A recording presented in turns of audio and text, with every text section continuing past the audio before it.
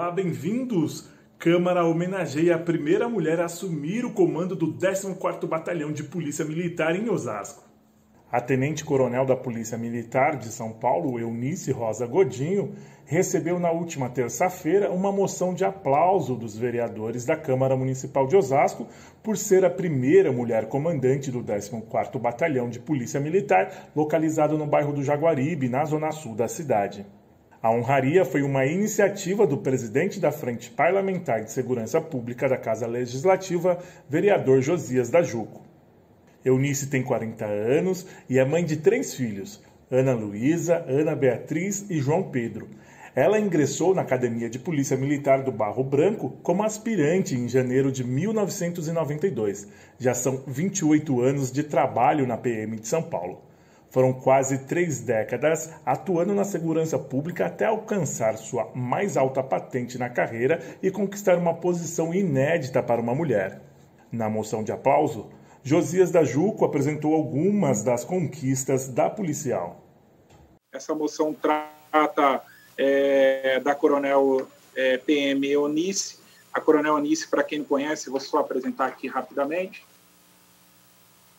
Coronel Nice já esteve aqui na Câmara Municipal apresentando palestra quando era major e agora assumiu o 14º Batalhão aqui na zona sul da nossa cidade e é a primeira mulher que assume um batalhão aqui na nossa cidade. Isso, vereadora Ana Paula, vereadora Régia, vereadora Lúcia, mostra a importância, o respeito da corporação também em colocar uma mulher para comandar uma corporação e um batalhão tão importante como é o nosso 14. Osasco registra superávit de 181 milhões nos primeiros quatro meses de 2020. O resultado foi possível porque houve uma maior arrecadação até o mês de março, antes da pandemia.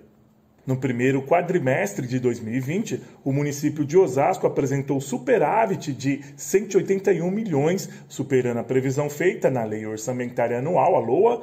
O montante é cerca de 20% da arrecadação de 904 milhões obtida nos quatro primeiros meses do ano.